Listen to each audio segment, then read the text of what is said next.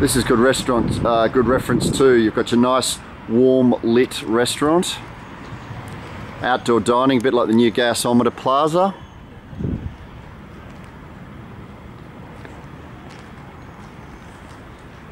Everything's warm and inviting. Love the old uh, cobblestones.